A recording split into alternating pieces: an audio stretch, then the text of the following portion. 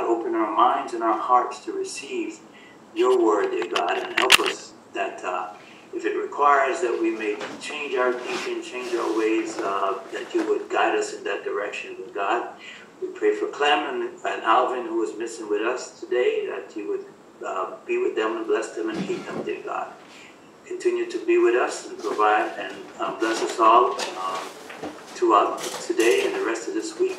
These mercies we ask in Jesus' name we pray. Amen. Amen. Amen. Awesome. Well, it is indeed my distinguished pleasure to be with you again.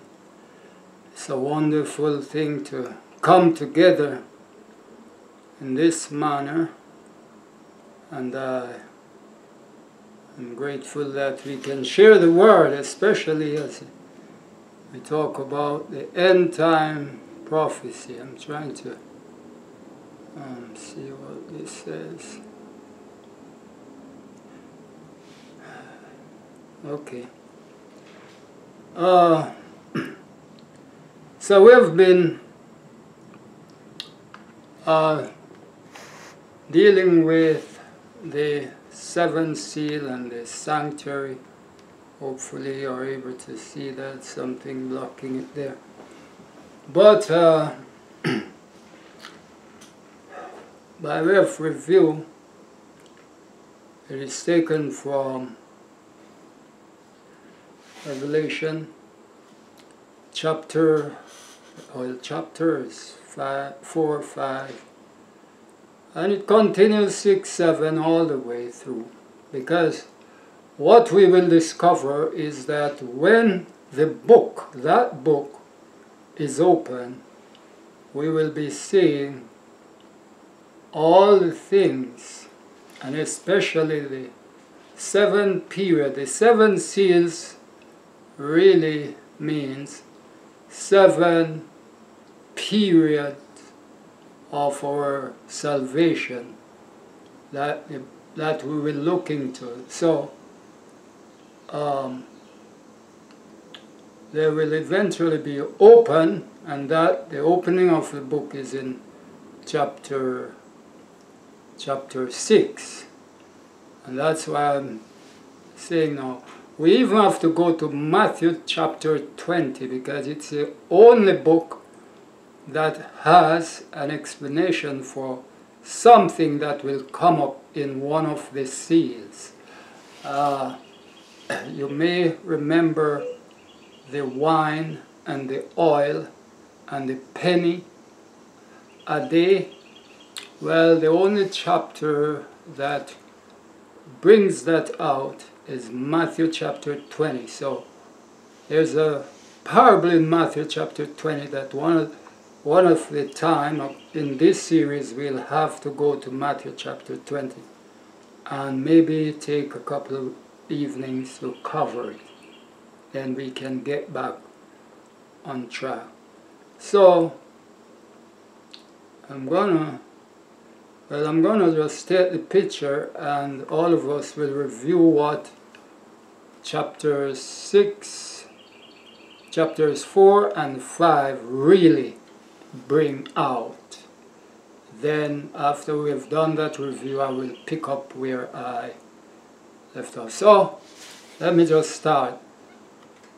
John saw a door open in heaven and we discussed that. We said the only door that is closed, uh, that was, was closed for centuries, um, we know that by way of what on earth.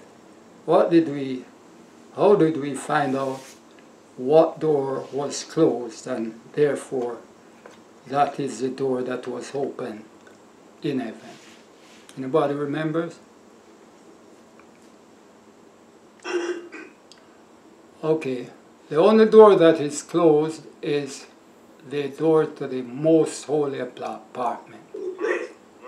Yeah, and it is a sanctuary um, that actually allows us to really come to that conclusion from the Bible. So when we have the foundation of this sanctuary, we're able to unlock a lot of stuff.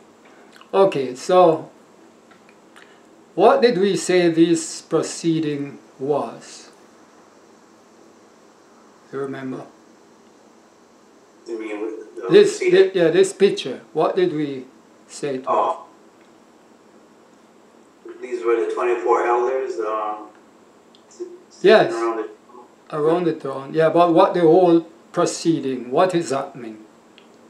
One to word. see- One- to, um, One word. investigative judgment. Amen. It is an investigative judgment. And so, just like our courtroom on earth, it is the same way, just that it has, where we have 12 jurors, we have 24. And the participants in this, except for the the um, 24 elders, which we know, we it is obvious that we have the other members. Who are those?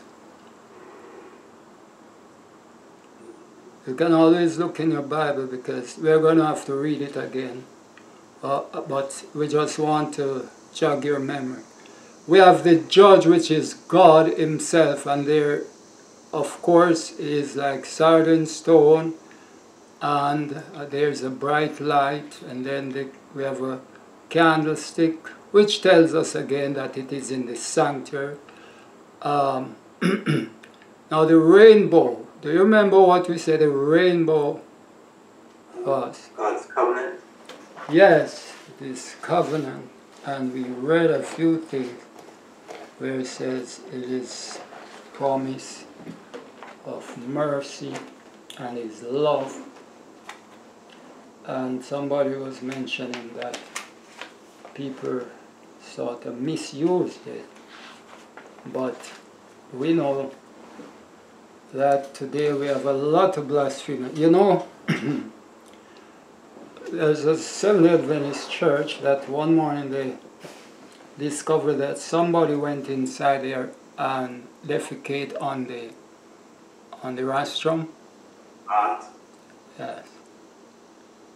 So God is so merciful and people are taking advantage of that but mom. Hit that light for me, please. Thank you. Um, so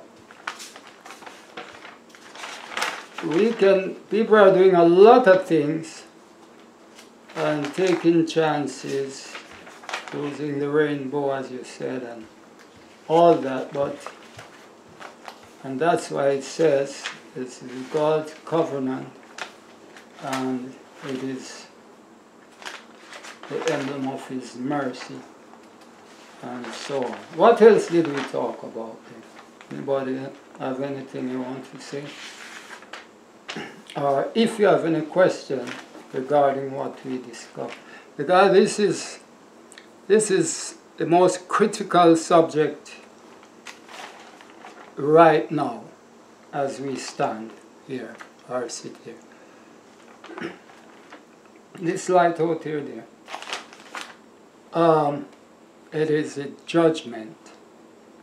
Um, so, it is centered around what? Or whom? Jesus Christ, Yes, and what is represent is re- being represented as the Lamb that was slain. a slain lamb. So we have the judge, we have the jury, and we have God's covenant or His promise to assure us that everything will go well here. And of course, we have four beasts. Who knows who, what these beasts are representing? Well, what is missing there then? What is look in a courtroom on earth and tell me what would be missing if we have the judge, the jury, and we have Then you'll have the, the, the, the prosecutor and the, um, you know, the, the, the two, the two two lawyers against each other or something like that?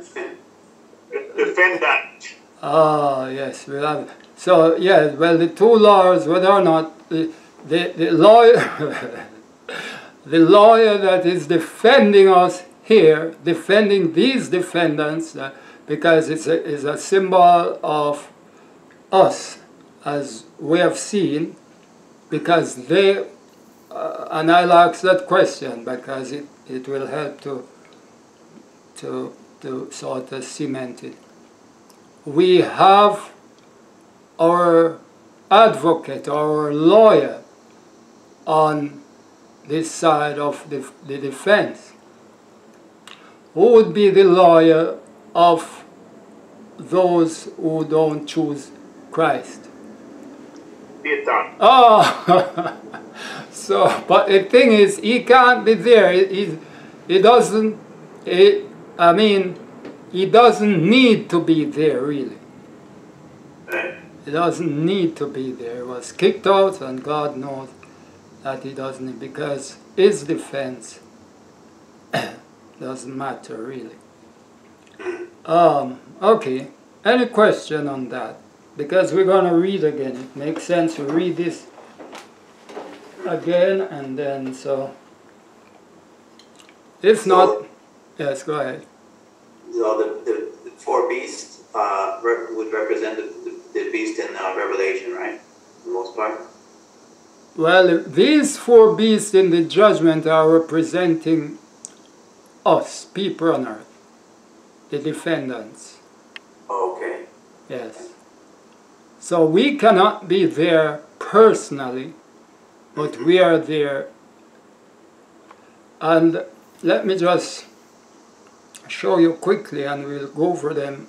Because the beast, if you notice, they are seen, they are given four different heads, and four is the four compass of the earth.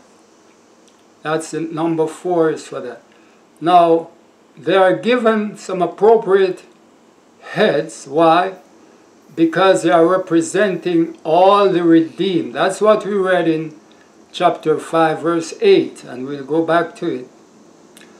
Is that both the beast and the elders praise God and says and say, You have redeemed us. You remember that? From the earth by your blood. And so, because, well, we have the head of a lion, the head of a calf, the head of a man, the head of an eagle. The head of the lion, since the lion is the king of the beast, and the bird is, the eagle is the king of birds, the lion start out with the with, with, with, the, with Abraham. I mean, not Abraham, with Adam.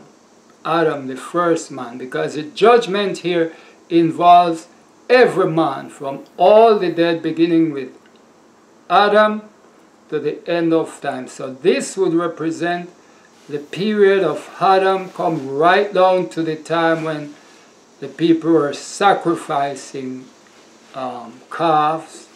They couldn't use the lamb because Christ is already in the form of a lamb.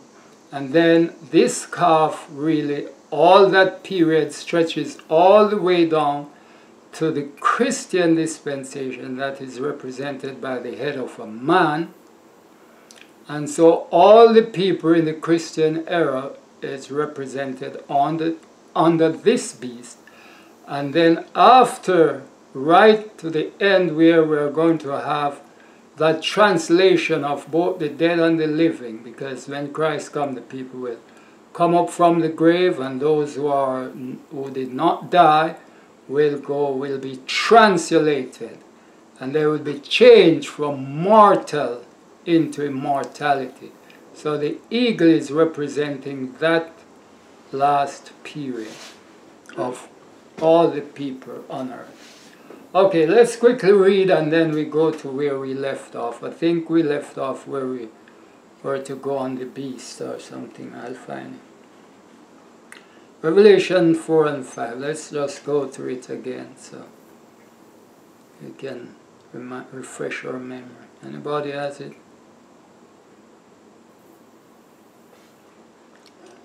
Do you want us to read through Revelation 4 and 5? Yes.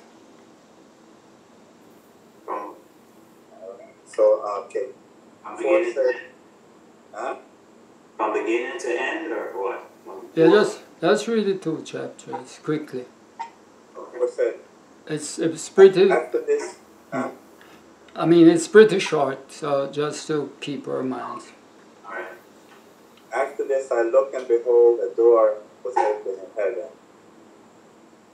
And the first voice which I heard was as if it were of a trumpet talking with me, which said, Come up thither, and I will show you these things.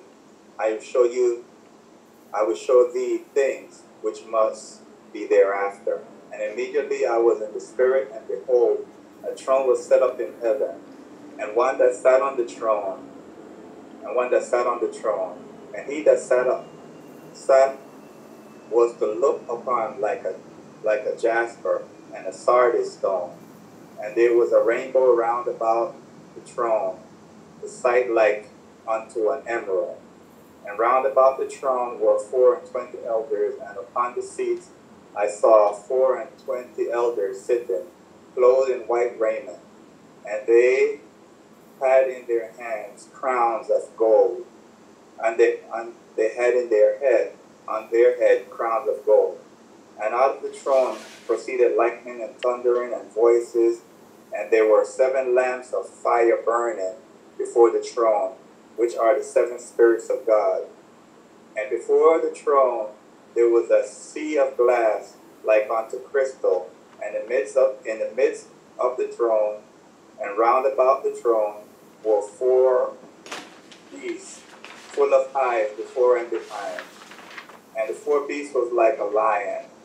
And the first beast was like a lion. And the second beast like a calf. And the third beast had a face as a man.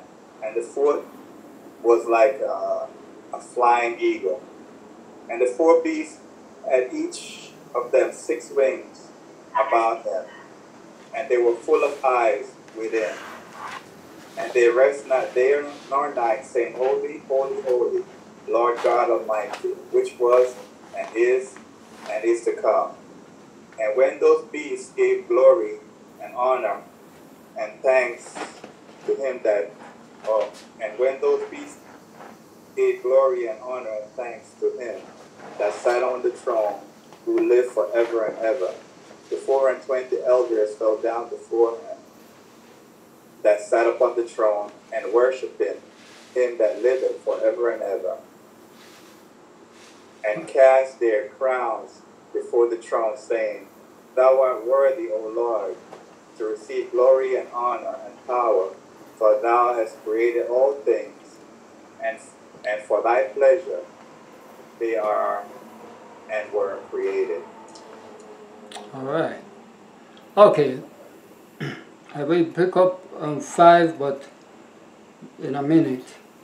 Let's look at the the beast then, since and you can remind me if that's not where we reach, but that's what I have in my notes here. We dealt with a candlestick.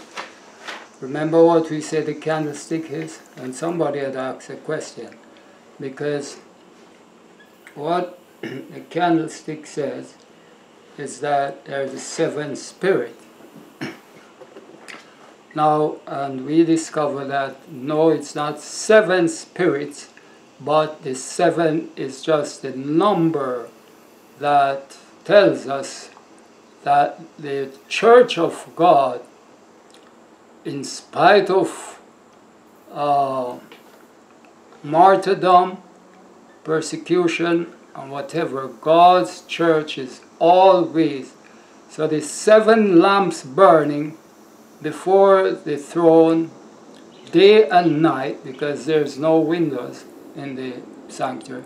And as a matter of fact, it was designed for that purpose. The lampstand is showing that we as God's people have been given given all the truth from Adam, the light of God's word has come to us in every generation. And that's what the the lampstand is mm, describing. now, any question on that? I think we, that is pretty clear. Yeah, I think you had mentioned that the seven uh, was also uh, a sign of the perfection of God's Spirit, Yes, it's symbolic, the, the, the perfect number. the It's, completion of God's Spirit. yes, it's a perfect number. And it means, and seven is, is a number that is stand for, that stands for perfection. Amen. Anything else?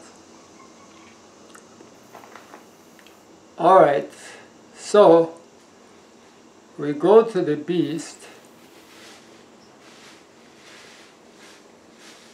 And when those beasts give glory and honor and thanks to him, chapter 4, verse 9, that sat on the throne, who liveth forever and ever, the four and twenty elders fall down before him that sat on the throne and worshipped him, that liveth forever and ever, and cast their crowns before him saying, Thou art worthy, O Lord, to receive glory and honor and power, for thou hast created all things, and for thy pleasure they are and were created.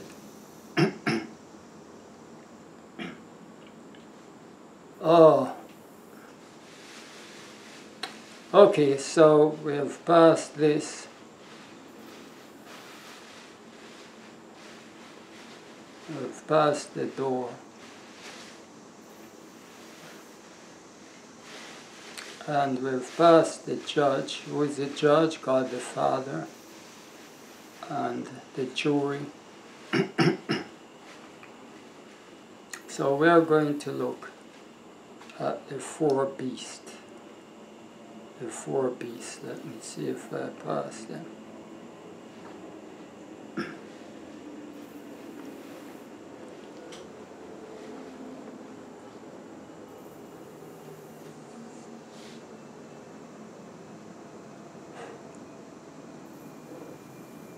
Therefore, well, maybe I pass it. The beast and elders.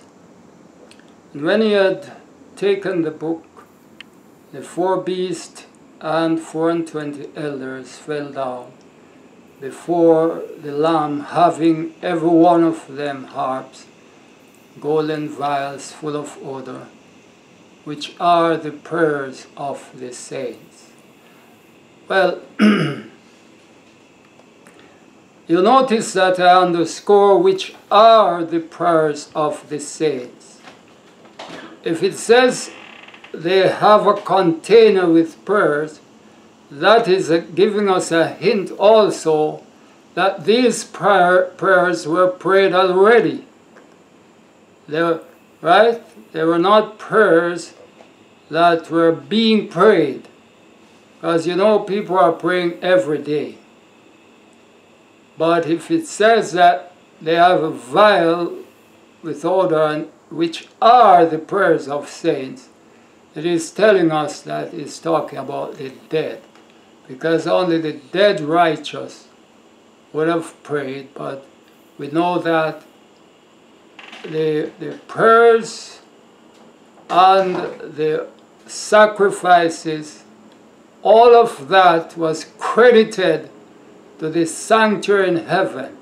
What was done on earth was credited to heaven until Christ would have opened that door and entered the most holy apartment to cleanse it from all the sins.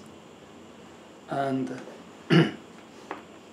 so that is why it is saying that. Any question, any comment? But am I to understand that when you say prayers of the saints, does that mean our prayers are saved in heaven? Yes, All our prayers. yes, all our prayers. As a matter of fact, everything that we do is recorded daily. and An angel is constantly taking record of all the things that we do and it's written Even if we pray the same things over and over again. Yes, yes. Yes. Okay. And you see, there's nothing wrong with praying the same prayer over and over. Um, you know, there are times that you you need to do more if you are studying God's word. Because as you're educated in the word, you see more things which you need to um, pray about. But um, so only in that context, your your rhetorical your question that is just recurring um, prayer. Only in that that manner it is um, it is not encouraged because you once you are reading you wouldn't have the same prayer over and over and over. But at the same time, yes. Any other input there? Let, let's continue to read. Huh? Have something? Yeah, no, go ahead. And they sung a new song, saying, Thou art worthy to take the book, to open it.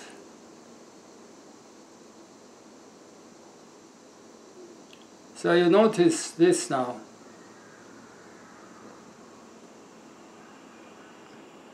Thou art worthy to take the book and to open the seals. So the book also is sealed with how many seals? Seven. Seven. And those seven seals are depicting seven periods of our earth history. And we are in one of those seals. So that's how God has done it. So when that is broken, we will be able to see what Christ only can reveal. And John would have written it, and we will be able to read it and know what happened there, what happened here. Now, as they were in the judgment, as, because I said the judgment is the foundation, as they were in the judgment, they also opened the seven trumpets. And the seven trumpets also will take us back to the beginning and show us the destruction, the plagues. We're heading for a time when there will be seven last plagues. But the seven trumpets will show us individual period, just as it is marked with a seal, it is marked with judgment or plague. And why is that? Well, let's take um, Noah for example. God sends a message to the people through Noah, and Noah deliver the message. Now, God never destroyed anybody without warning, giving them ample time, ample enough information to know how to deal with the situation that we're living in and the time we're dealing with. And so we will see that the message in every generation, even ours, I have to constantly remind us of this, is the only thing that will stand as a witness. You know, in court you must have a witness. It's the light that shines on your path. The last thing that you see. You can't be judged by what now people, the message of now. You can't even be judged by what the disciples preached. You have to be judged by the message of today, the message of the hour, or sealed. So the message comes and you get the revelation. It's your duty to check it out and the angels will take record and whatever is written in the book. Because remember, when Christ left, he sent what whom? Comforter. The Holy Spirit, the Comforter. And he would do what? Lead us into all truth. All truth means that what some get, got before is not necessarily what you get. It's meat in due season. And he does not give any one person all the truth. So as we go through this, and since we're dealing with the judgment, I just like to emphasize that it is a message. So right now, it is this message that will defend you. It will defend your character, or it will condemn you and me. That's exactly the, because it's a message of the hour.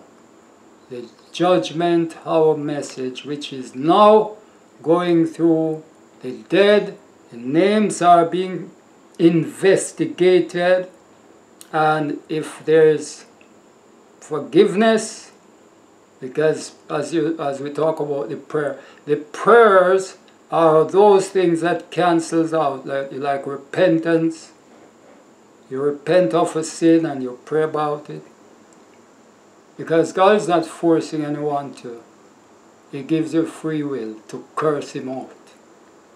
He said, even if he, he knew that people will curse him and blaspheme him, but he gives them free will just the same. That's, how, that's the God we serve. All right. Any question? Any comment? Yeah, I have a question. So, if um, you know your sins are, are being reported for the most part, and you confess your sins, does, does that mean that the record, your record is clear for that time, or you know, or?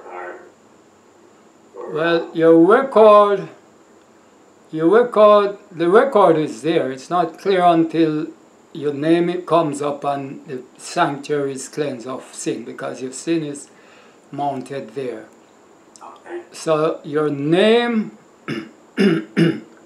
and your sin go hand in hand.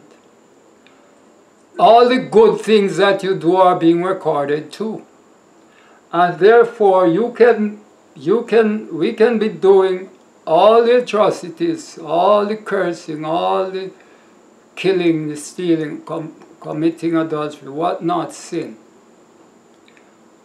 But when your name comes up, you have one good. And the good you have is that you were sorry for our sins and we confess. That one good can wipe away all your bad and vice versa. You could be doing the best, being the best Christian throughout your life, but you deliberately sin and refuse to repent. That one sin can wipe your record clean of all the good you do and condemn you to death. And that means the names will be blotted out of the book. And but if if you confess your sin, the, your name will be imprinted. you know, it is is like it is there, but now it, it will be snared in. It will It will be burnt in. Yeah. All right, so we're looking at this. And they song a new song, saying, Thou art worthy. Watch this now. Thou art worthy to take the book, to open the seals thereof. For thou wast slain, and hath redeemed us. Right? Who are talking here? Who are saying all this?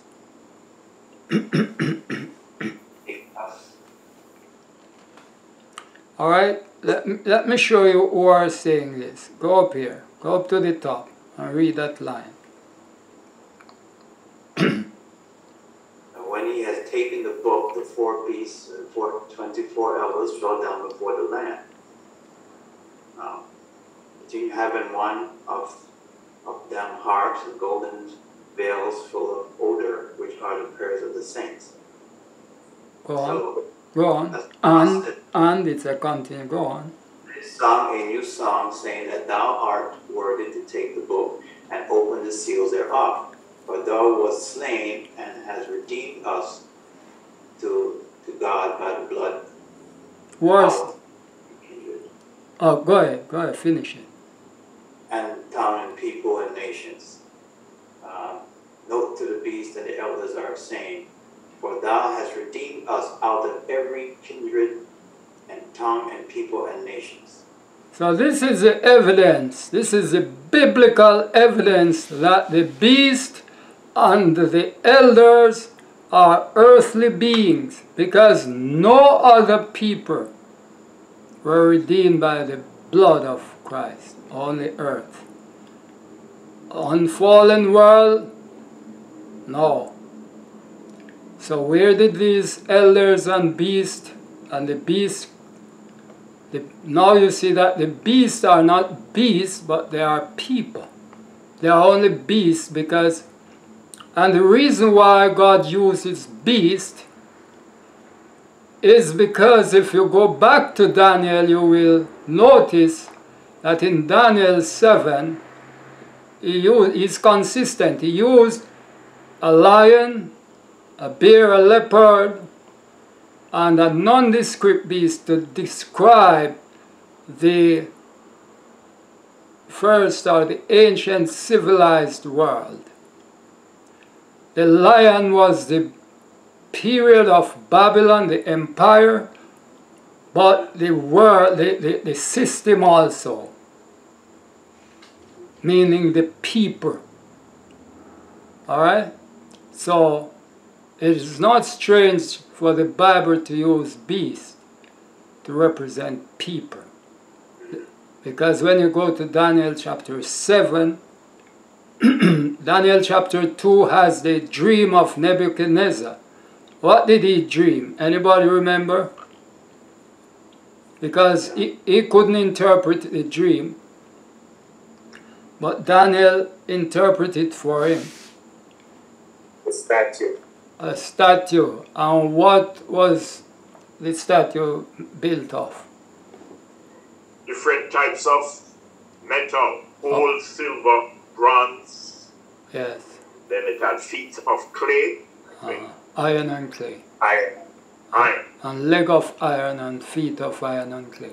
So it started at the head. Babylon was the head of gold. Then the next power that was predicted to overthrow Babylon was an inferior because silver is second in power to gold in value. And so when he was told that, what did he do? Did he build a, a statue like that? No. No, what did he build? A statue of pure gold. A statue of pure gold because he defied that um, statement that God told him through Daniel. Alright, so that was just to sort of reinforce or or confirm the point that these beasts are representing us and all other from, as it says, kindred, tongues, and people and nations. And you find that in Revelation 5, 8, and 9.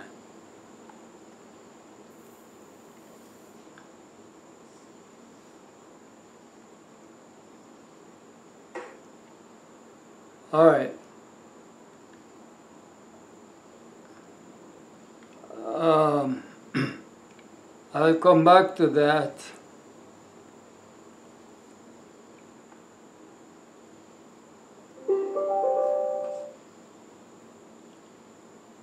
All right, we're do, dealing with the beast now in terms of the descriptions. Um, verse 8, if you have your Bible, look on that or look on the screen. Verse 8 of chapter 4, read it again. Verse 8. Yeah. And the, and the four beasts had each of them six wings above him, and they were full of eyes within, and they rest not day nor night, saying, Holy, holy, holy, Lord God Almighty, which was and is and is to come. All right. So, we discovered that the beasts are people. So now we have to unlock the meaning of their descriptions. Why is it that these beasts had wings, full of eyes, and all the rest of it? And the eyes were just two eyes like you and I. They have eyes before, behind, all over. Well, let's take the wings. Therefore, they stand as a symbol. Go ahead. Somebody saying something? Uh, no, no, go ahead. They stand as a symbol signifying that God's people have had sufficient light. Sufficient light. Um, let me see if I have the scripture here. Go to the next slide. Just as I was explaining that God's church is shining in every dispensation from beginning to end. It is confirming right here now that we as people have been given enough, enough revelation, enough spiritual light the Word of God is described as light. Now the eyes, our eyes, are the lights to our body. Right? So it allows us to see, to shine those things inward, so we know what we're looking at. So you imagine that we are described as having eyes before and behind. What do you think that is saying? Again, it is saying that God's people have had sufficient light in every age. Before and behind denotes prophetic light revealing to them the past, the present, and the future. You recall when Christ comes came? And he was the first time and he was explaining to his disciples what he did. He went back to Moses and he showed the prophecy that related to himself and his crucifixion and his suffering all the way up and so we here today are challenged to do the same. We here today are required to do the same. Because if we don't know our past, we are quite unlikely to understand the present. And so that's the evidence that God is giving us. Whether we want to deny that is up to us. But God has given uh, is showing that his people who is judging, who is before the bar of heaven at this time, has had enough, have had enough that could save their souls. Enough instructions. Reveal to them the past, the present, the future. This being made possible by the Spirit of God and by the holy angels. Any question on that? All right, number four. Uh, we talk about this already, what four is showing, because there are four beats. Number four shows that there are four classes of saints to be considered in the judgment. Two of these classes are to be resurrected, namely those who died naturally and those who were martyred. The other two are they who shall be translated at the coming of Christ, namely the 144,000 of Revelation 7 1 to 8, and a great multitude with palms in their hands. That should be saying. With palms in their hands, as shown in Revelation 7 and verse 9. So, any question on that? Who will be comprised the 144,000? Israelites. And that's a subject that we will, if we have time, when we, we will get to it.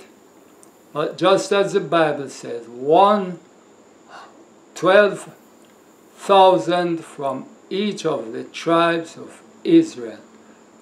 And it is not ancient Israel, it's the descendant where you, the possibility you have the blood of the Jew, you are a descendant and you are recipient to be among the 144,000. So God, God will guide you into the message of the hour. And because we have modern, we have ancient Israel, and we also have modern Israel. And let me clear up something here. The Jews, who many of us believe are the Israelites, are only representing two tribes. When God said 12 tribes, he meant the 10 tribes that were dispersed throughout the world in 721 BC under the the, um, the the under the king of Assyria who is called Sennacherib. He invaded the, uh, the Israelites because you know that the Israelites were divided under the rulership of Rehoboam, the son of Solomon.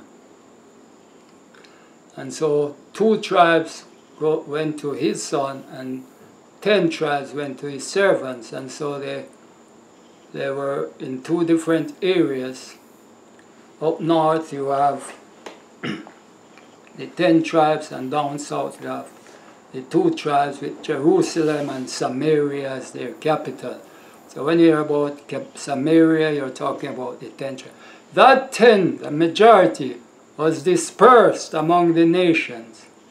But God today will find their descendants among us. We are. Once we get the message, once we have the message that God sends at this time, especially the three angels' message, we are modern Israel and likely to be among the 144,000. Spiritual Jews. Yes. Yes. Israel, 12 tribes. The Jews is only two tribes. But Judah and Benjamin, but um, when it's says Israel, it's talking about 12 tribes. All right. So,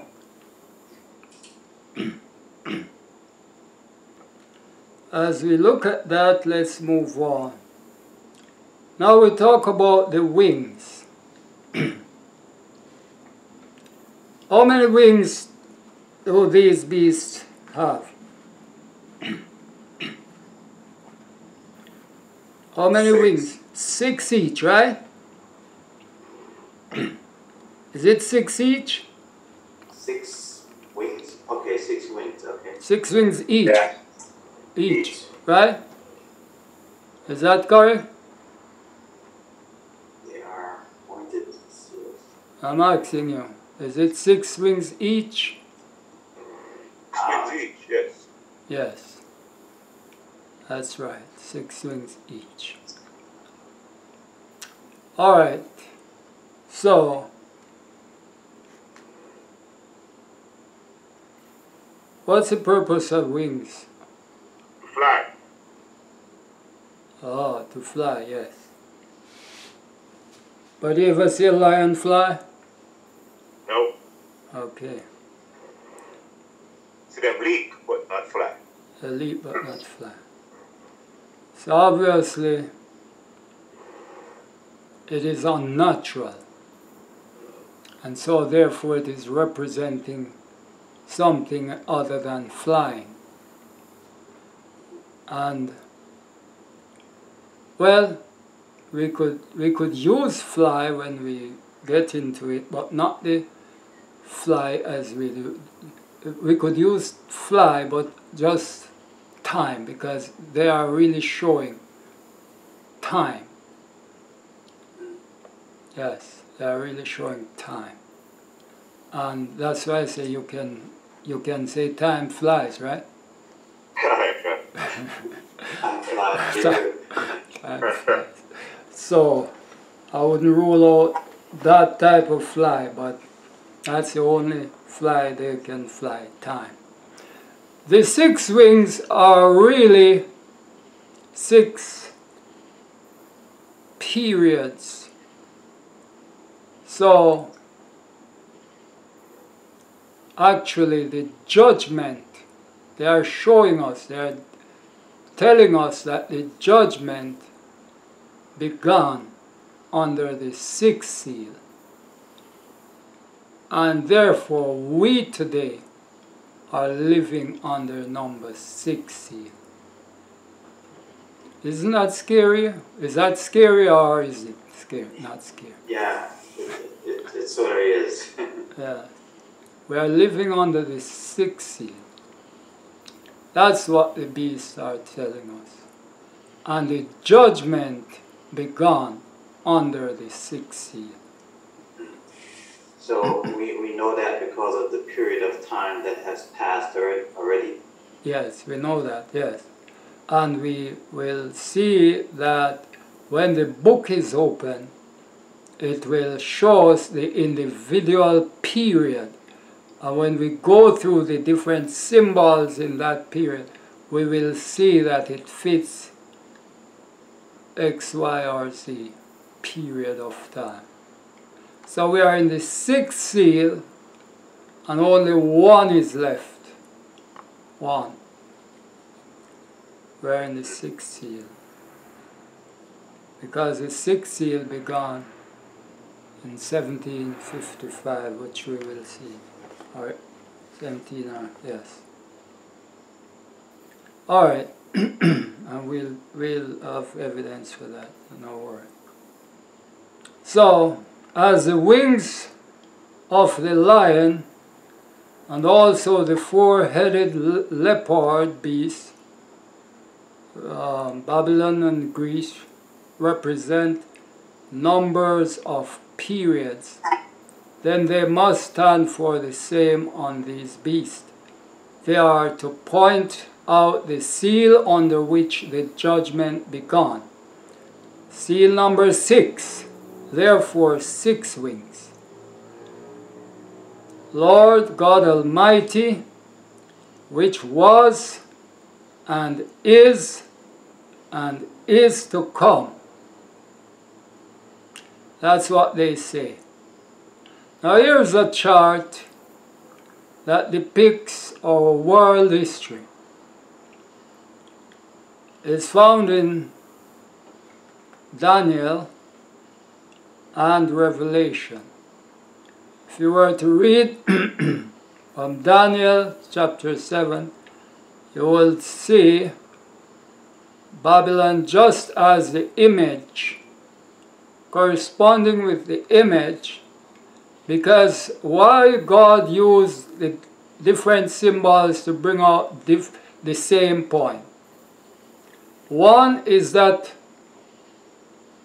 what one fails to reveal, the other does. And in other words, one symbol is not capable of bringing out uh, a comprehensive view of what we're looking at. For example, if the head of gold is representing the king, would that tell us about anything else? Like the empire? No, right? It just tell us about the king. You are the head of gold. You, one man, the king, Nebuchadnezzar. So, while this is his dream, and it is interesting that God put this dream in a king that we would class as a heathen king, right? So we can't fathom God. He used Nebuchadnezzar, he put the dream in him, but he, uh, he uses prophet to reveal it. And we say from time to time, God uses his prophet to bring out the secret in his word. That you know we just we just can't go and and find God's secret. Even though you might read it, read it, read it, you won't see it until you consult with God's prophet. That's why we have the spirit of prophecy, a great controversy. So, it is a it is a history of the world. History and prophecy go hand in hand. And so when the when the prophecy um, prophesy and then it is fulfilled, we will see that the fulfilled prophecy becomes history. And so that's why they go hand in hand like twin. So the beginning of time from Adam would be found here, beginning of the world, and then as we travel on this line up to 24,000 BC, uh, 2400 BC, sorry, we would find it after the flood that it will start another period called Babylon. And then Babylon, and then Babylon, which is the head of gold, depicted as a, as a lion, would be overthrown by an inferior beast, which is a bear,